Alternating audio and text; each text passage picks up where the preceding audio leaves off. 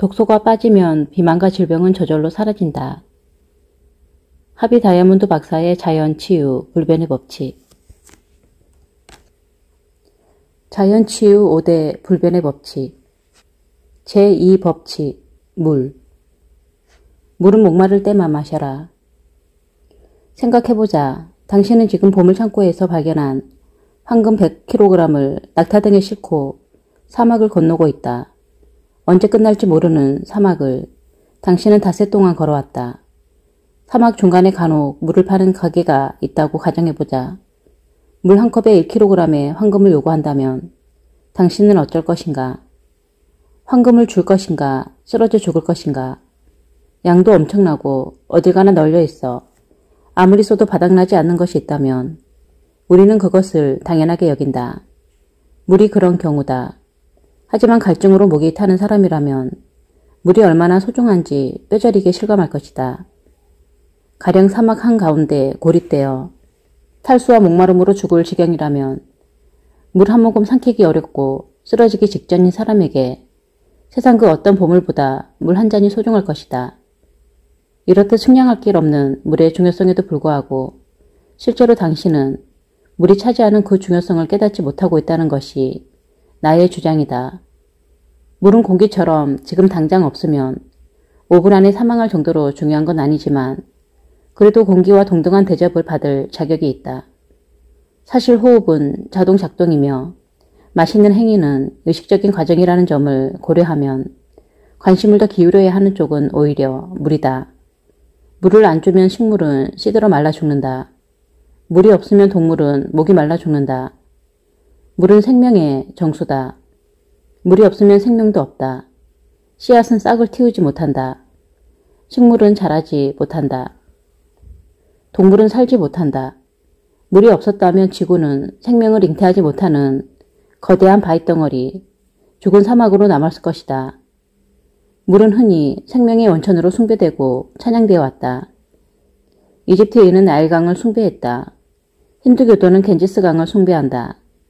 그리스에서는 자연의 샘터를 신전부지로 선택했다.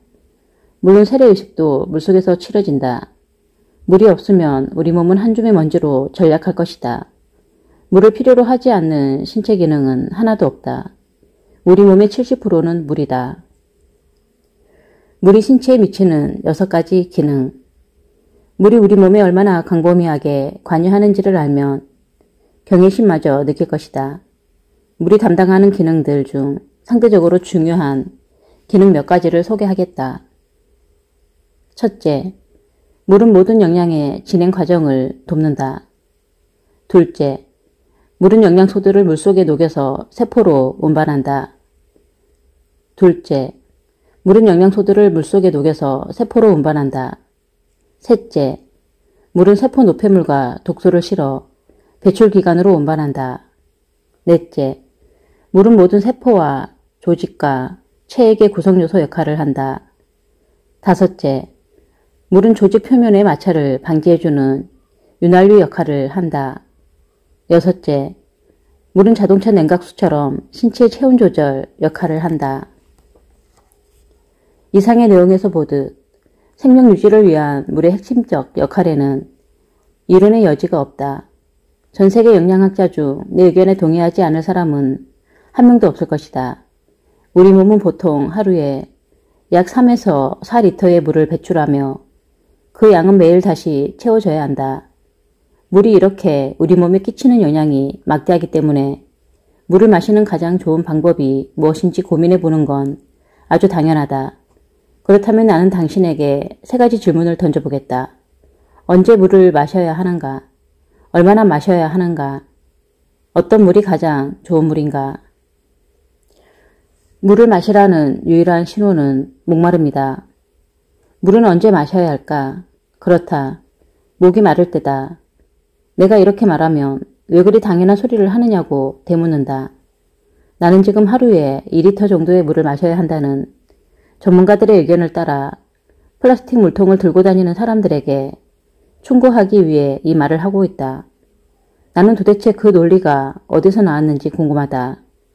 물을 마시고 싶지도 않은데 2리터나 마셔야 한다면 그 전문가는 신 위에 우뚝 서 있는 위대한 존재란 말인가? 자연은 우리가 섣부른 지식으로 재단할 정도로 어리석은 존재가 아니다. 물에 대한 필요성은 계절과 활동에 따라 달라진다. 뜨거운 여름 태양 아래 격렬한 육체 노동을 하는 사람은 분명 에어컨이 작동하는 사무실에 일하는 사람보다 훨씬 더 많은 물이 필요할 것이다. 두말할 필요도 없이 겨울보다는 여름에 밤보다는 낮에 더 많은 물이 필요하다. 기억해둘 가장 간단한 규칙은 이것이다. 목이 마를 때 마셔라. 우리 몸은 언제 물을 마셔야 할지 알려줄 만큼 충분히 현명하다. 이것은 마치 태양을 피하는 법과 너무나도 닮아 있다. 우리 인간은 700만 년을 진화해 오면서 뜨거운 햇볕을 피하는 방법을 발명했다.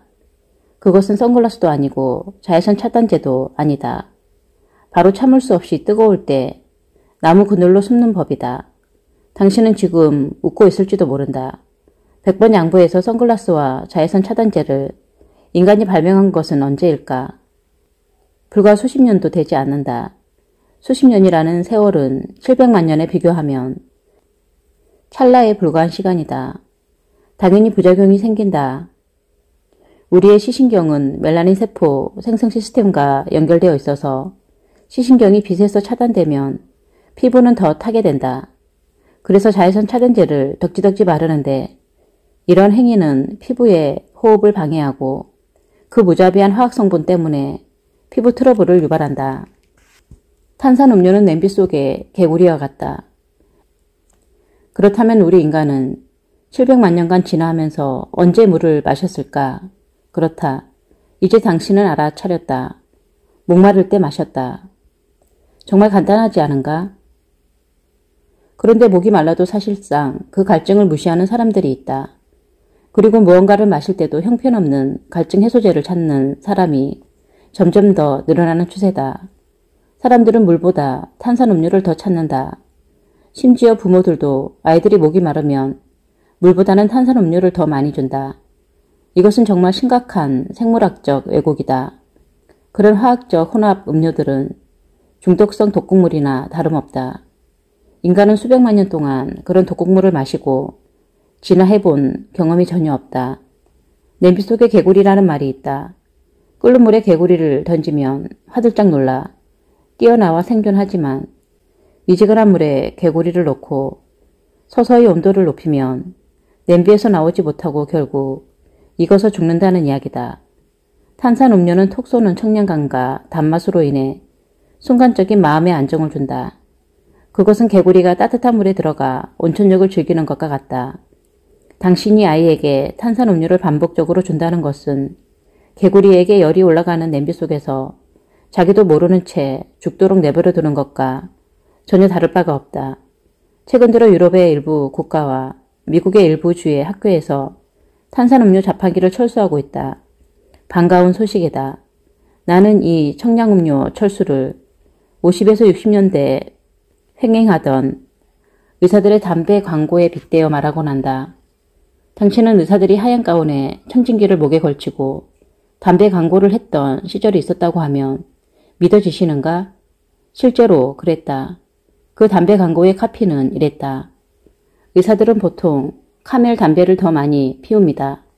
의사뿐이든가 운동선수, 심지어는 임산부까지 등장하던 시절이 있었다.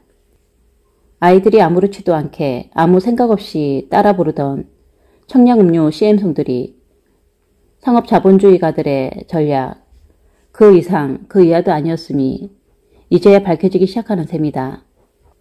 아침에 일어나자마자 물 한 잔을 마셔라. 우리 몸의 욕구를 채워주고 탄산음료 의존증에 벗어나게 해주는 간단한 공식이 있다.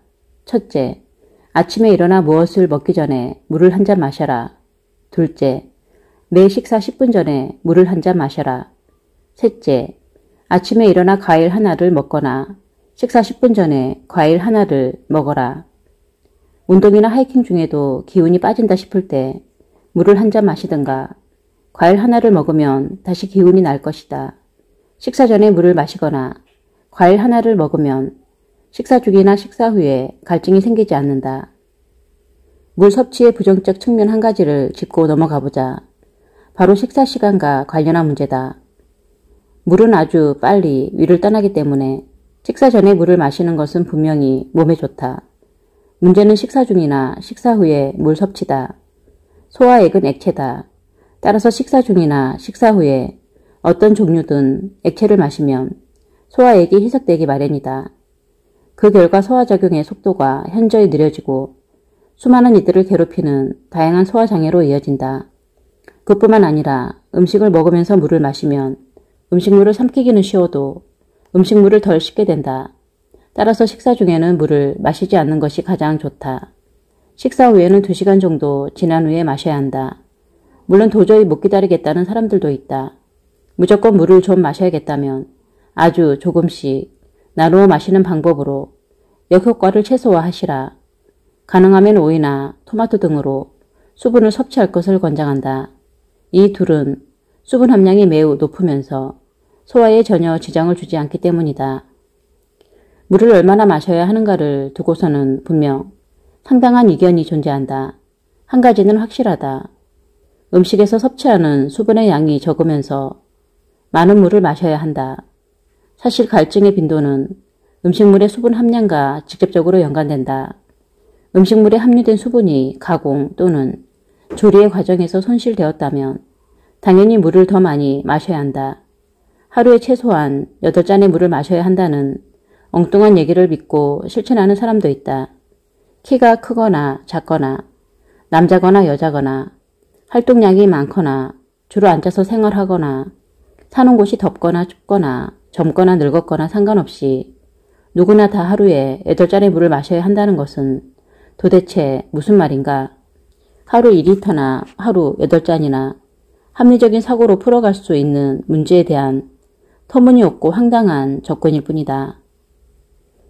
지나친 물 섭취는 과식만큼 해롭다. 그렇다면 물을 얼마나 마셔야 한단 말인가? 여기서도 확실한 규칙은 하나뿐이다. 목이 마를 때 갈증이 해소될 만큼만 마셔라. 이 문제에 대해서도 이것 말고는 다른 명백하고 확고한 규칙은 없다. 현명한 사람이라면 섭취량을 특정하려 하지 않을 것이다. 분명히 우리 몸이 하루에 필요로 하는 최소한의 섭취량은 있다. 대부분의 사람들은 필요한 물의 3분의 1을 음식물을 통해 얻는다. 섭취량이 살짝 초과되더라도 별 탈은 없다. 그러나 너무 많이 마시면 조직들이 완전히 물에 잠기면서 체액이 희석되고 세포 기능이 손상된다. 또 산소를 흡수하고 운반하는 혈액의 능력을 떨어뜨린다. 물을 많이 마시면 땀도 더 많이 나는데 땀을 과도하게 흘리면 기력이 약화된다. 당신이 분별력을 가지고 잘 관찰해보면 물을 많이 마시는 사람일수록 무더위를 더 힘들어한다는 사실을 알 수 있다. 물론 무더위가 갈증을 크게 일으켜 물을 더 많이 마시게 된다고 생각할 수도 있다. 그러나 당신이 물을 조금이라도 덜 마시면 땀도 줄어드는 것을 금방 확인할 수 있다. 더위가 아니라 과도한 물 섭취가 땀의 주된 원인임을 알 수 있다는 말이다. 대부분의 경우 물을 많이 마시는 사무직이 경험하는 갈증은 실은 생리적인 요구가 아닐 확률이 99%다. 그렇다면 물을 얼마나 마셔야 하는가? 상황에 따라 다르다. 얼마나 먹어야 하며 얼마나 호흡해야 하며 얼마나 자야 하는가? 몸이 요구하는 만큼이다. 개인의 라이프 스타일, 음식의 특징, 기후, 신체 활동 따위에 따라서도 달라질 것이다. 몸의 신호에 주의를 기울이시라. 그리고 몸의 명령에 따르시라. 가장 훌륭한 건강 습관은 몸과 자연의 명령에 따르는 것일 뿐 그 이상도 이하도 아니다. 가장 좋은 물은 무엇인가? 그렇다면 어떤 물을 마셔야 하는가? 가장 완벽한 물은 무엇인가? 이 또한 아주 간단하다. 순수한 물이다. 그 누구도 순수하지 않은 물을 원하지 않는다. 그런데도 불구하고 대부분의 사람은 결코 순수한 물을 마시지 않는다. 순수한 물은 순수하게 그냥 물인 아무것도 썩지 않는 물이다. 물은 화학공식 H2O로 표현한다고 배웠을 것이다. 물은 수소와 산소로 구성된다. 이것이 전부다. 이 두 가지 성분 외에 물속의 다른 것들은 전부 물을 오염시킬 뿐이다. 요즘 우리들은 주로 시판용 정수된 물을 마신다. 자기가 마시는 물에 많은 불순물과 유해 물질이 들어있을지도 모른다고 생각하는 사람은 거의 없다. 대부분은 아무 생각 없이 수돗물을 마신다. 그러나 수돗물과 그 속의 오염 물질들에 세심한 관심을 기울이는 사람이라면 그 물을 계속 마시지 않을 것이다. 수돗물은 정수장에서 수많은 화학 물질이 첨가될 뿐만 아니라 복잡한 관들을 통과하면서 유해한 금속 물질들도 들어간다. 게다가 생태계 환경의 정교한 균형에 대한 지속적 무관심의 결과 지구상의 거의 모든 물에는 화학적 오염 물질들이 숨어 있다. 심지어는 저 멀리 북극 지역들에서도 무시무시한 살충제의 하나인 DDT가 발견된다. 요즘 수돗물은 가히 수프라고 할 수 있다. 말하자면 화학물 범벅의 수프라는 말이다. 그런 오염 물질로는 비누, 나무 펄프, 기름, 황상, 구리, 비소, 페인트, 살충제, 방사성 폐기물, 농업용 비료, 산업용 화학물질 등등 이루다 거론하기 힘들 정도로 너무나 많은 것들이 있다. 또 낮은 독성에서 높은 독성에 이르는 무기 강물질도 있다. 게다가 의도적으로 추가되는 화학적 오염 물질들도 있는데 이는 물을 정화하고 박테리아를 죽이기 위한 목적이다. 그런데 문제는 박테리아를 죽이기 위한 그 화학 물질들이 그 박테리아보다 훨씬 더 해롭다는 점이다. 물은 정수시설에서 여러 정수 과정을 거친다. 수돗물과 관련해 기억해둘 가장 중요한 사실은 이것이다. 수돗물은 그냥 물이 아니라 독성 물질이라는 것이다. 그것은 앞에서 언급한 탄산음료와 다를 것이 없다. 모든 화학물질은 독성 물질이다. 갱관은 생명의 사원인 인간의 몸에 수돗물을 허락하는 것이 얼마나 위험한 일인지 알려주는 문장을 찾아내지 못해 나는 힘들어하고 있다. 내가 이렇게 말하면 사람들은 까다롭게 굴지 말라며 이렇게 말한다. 이봐, 물 한 잔 가지고 뭘 그리 복잡하게 생각하시나. 그러나 그것은 당신의 실수다.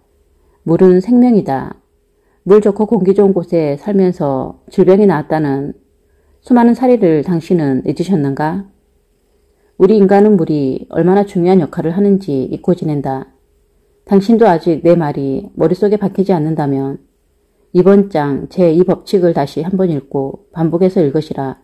최고의 물을 얻기 위해 드리는 시간과 노력이 당신이 마시는 물의 품질을 결정한다고 나는 믿는다.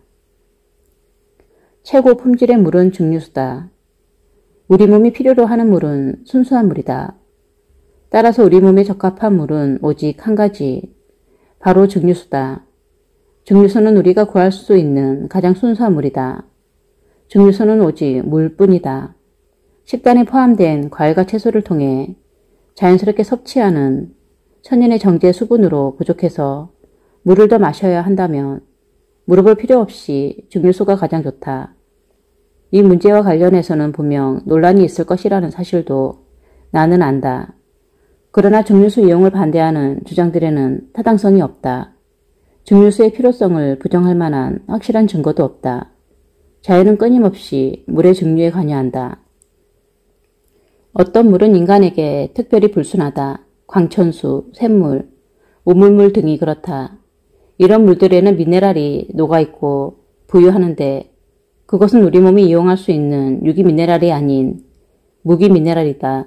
빗물도 떨어지면서 가스와 먼지가 들어와 섞인다.